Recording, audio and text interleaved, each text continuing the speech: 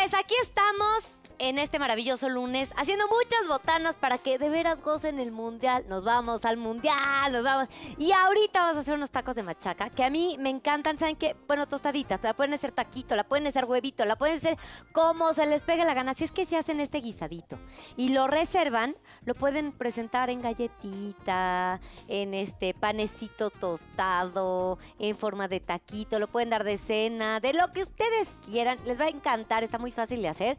Ahí les va en casita los ingredientes para que anoten. Para esta receta vamos a utilizar una taza de jugo de naranja, media cucharada de comino, dos tazas de machaca que esté deshebrada finamente. Ya la venden así, ¿eh? no se preocupen. Luego media cebolla chica picada finamente, tres jitomates sin semilla y picados, dos chiles serranos picados, dos zanahorias peladas y ralladas, dos cucharadas de cilantro picado, una cucharadita de orégano, sal y pimienta al gusto, una taza de guacamole y unas tostaditas de maíz. Yo aquí ya tengo todos mis ingredientes listos para prepararse. A mí me gusta la machaca, es una carne seca eh, que es de verdad deliciosa. Saludos a Monterrey. Monterrey de mis amores. Saludos a mi primo Carl, que por aquí, por allá anda, en Monterrey. Carjancillo. Échate unas chelas a nuestra salud. Qué rico se come en Monterrey, ¿eh? Bueno, yo aquí tengo mis chilitos serranos. Ay, espérame, porque este, este es el que me gusta. Tararán. Espero que tengan unos de estos en casita porque son realmente maravillosos. Y lo que voy a tomar es un... El cuchillo de Danny. Danny Boy. Bueno, y entonces esto nada más lo voy a trocear así toscamente para que entre a ese aparatito. Y lo voy a picar finamente o bien como ustedes quieran. A mí me gusta un poco, no tan fino, sino más bien este en pedazos, en pedacitos más gruesos. No está picando, ¿ah? Ahí está. Ande pues, ya quería llorar, Dani. ¿Tú sabes afilar estos? Pues aprendemos, ¿no? A verdad. sí, yo creo que sí va a haber que preguntarle. Bueno, esto lo voy a poner aquí. Siempre que hago esto me siento como en restaurante japonés. Ya sabes que separan todo en el, te en el teppanyaki, ¿no? Y lo voy a reservar. Ay, ¿para qué sufro tanto? Aquí tengo otro, mira. Espera. ¿Ya vieron qué rico chilitos serranos? Uy, uy, uy. Bueno, ahora, por otra parte, voy a tomar la cebolla que aquí tengo. Y la voy a... Igual, a cortar como en trozos más gruesecitos. Para poder regresar a mis métodos de usanza. ¿Saben qué? En la cocina es bien importante facilitarte la vida, de veras, ¿eh? ¿Por qué? Porque, pues sí, digo, cocinamos diario, rapidito, y eso nos brinda un estado de salud padrísimo. De veras, la gente que, co que, que cocina, que sabe cocinar, tiene una gran herramienta en su poder. Enorme. Enorme, porque sabe más o menos qué nutrientes está comiendo, con qué está cocinando, qué se está llevando a la boca. Y esas cosas que son, oye, yo creo que yo ya lo rompí. Esas cosas que son bien importantes. Entonces ya cuando te dicen, ay, esto tiene, esto se hace con mucha grasa o que el pozole o cuando te quieres poner a dieta, ¿no? Que dices, ay, no, pues el pozole engorda, ¿no? Cuando sabes cocinar, te puedes, o sea, te, te, te agarras la oportunidad de poder comerte tu pozole y hacerlo bajo en calorías. ¿No? Entonces eso ya es, todo es pura ganancia, es pura ganancia. Eh, ya me enojé con este que no sirve, ¿eh? Malo, ah, ¿verdad? Voy a agarrar el otro porque... No, pues aquí sí que tenemos recursos, ¿eh? ¿Ya vieron? Aquí puro recurso. Ahí está. Entonces, ya que se hizo por eso su cebolla, ya ahora sí, órales. Eso es importante útiles que funcionen. Que sean útiles, ¿verdad? Bueno, ahí está picada la cebolla y va una más. Esta está pesada. Ande pues la cebollita, ¿no? Ok, ahí está. Entonces, lo que voy a hacer es que voy a empezar a dorar aquí mi cebolla. Pero yo quisiera un poquito de aceite. Ahí voy, por un aceite. Porque sí quiero que revenga así de color bonito. Así de espérate, espérate. Y voy a poner un poquito. ¡Ay! Oh, hay que abrirlo. Lo voy a destapar rápidamente. Ahí está. La, la, la. Y voy a poner un poquito de aceite. Y ahora sí, hay que dore un poco la cebolla. Ahí voy. Ahí está. La cebollita. Listo. De una vez voy a echar un poco de sal y de pimienta para que empiece a agarrar sazón que tengo aquí. Ahí está. Y que empiece a saltear. Mientras tanto voy a empezar, a, voy a poner aquí en este otro sartén, voy a poner un poquito, bueno no, voy a hacerlo así para que ustedes en casita no ensucien tantos sartenes. ¿Les parece? Mientras tanto, mientras se dora mi cebollita, acompáñame un corte. Pero te vayas, que aquí estamos haciendo tostaditas de machaca. Tostaditas de machaca pa' mamá que está. No, se me ocurrió una palabra, pero no. Luego les digo, regresamos. Pues ya estamos aquí de regreso con más tostadas de machaca, de machaca. Y ahora lo que voy a hacer, bueno, aquí ya se está este, dorando la cebollita. Yo voy a empezar, ¿saben qué? Con un rallador. La, la, la. Voy a empezar a rayar mi cebolla. Di mi cebolla, ¿eh? ¿Dónde está Dore? Es lunes. Es lunes, al lunes de Dore. La, la, la.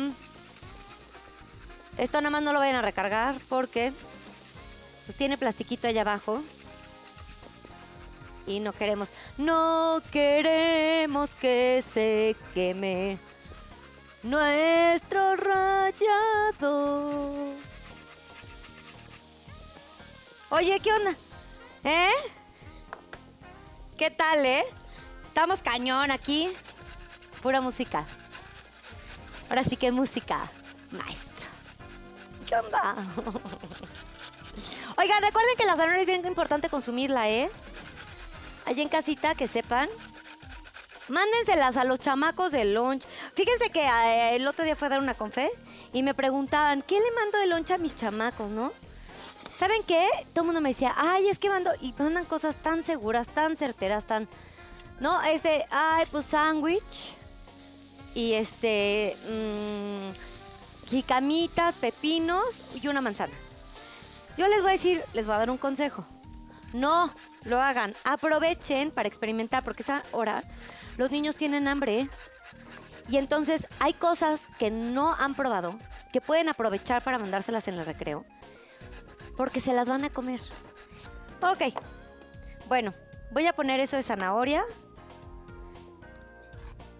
No, oigan, ¿qué onda con el bullying, eh? Me preocupa. Sí me preocupa, porque en mis épocas también había bullying, ¿eh? No crean que que es una cosa nueva. Pero lo que pasa es que ahora los chavitos se están poniendo en el internet a pues hablar mal de gente y esas cosas, ¿no? Eh, ahorita puse machaca ahí en el sartén. Ya adoro la cebolla, todo el rollo. Y lo que voy a hacer ahora es que voy a poner en mi sartencito, no, primero el chilito, primero el chilito. Vamos a poner el chilito para que empiece a agarrar también la parte picantita, ¿no? De mm, que quede así sabrosito. Ahí les voy. Un poco de chilito. Y también un poco de cilantrito. De una vez todo lo verde. Y ahí está. ¡Mikey! Mira, uy, mira mi rey, mira, lo que vas a hacer es esto, ¿eh? Te voy a explicar para que sepas. Espérame, ¿eh? Uy, uy, uy, no, se va a incendiar. Que vengan los bomberos.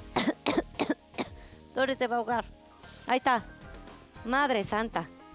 Este, ¿sabes qué vas a hacer, Mikey? Vas a hacer los siguientes dos puntos. Compras el chicharrón. Ya que esté el chicharrón así, le echas un trancazo de guacamole y machaca. ¡Ay, Conchela! Obvio. O sea, obvio que hay de otra. Le voy a poner juguito de naranja de una vez un poco de orégano. Le voy a poner también tantito comino. Y voy a empezar a picar el jitomate. En cuadritos, ¿no?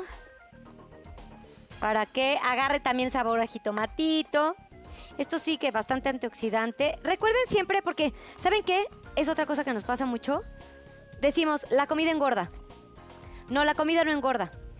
Es, la porción es importantísima, la porción. Es lo que comas de la comida, ¿no? Las cantidades. Y yo lo que les recomiendo es que siempre, siempre busquen el lado bueno de sus recetas. Entonces, por ejemplo, ahorita estoy picando jitomate. ¿Qué tiene de bueno el jitomate? ¿Qué tiene de bueno? ¿A qué le voy a sacar provecho? ¿A qué le va a sacar provecho mi organismo? Porque somos lo que comemos y pensamos igual, de la misma forma. Y aquí, entonces, cuando tú le mandas un mensaje a tu organismo, es lo que va a tomar.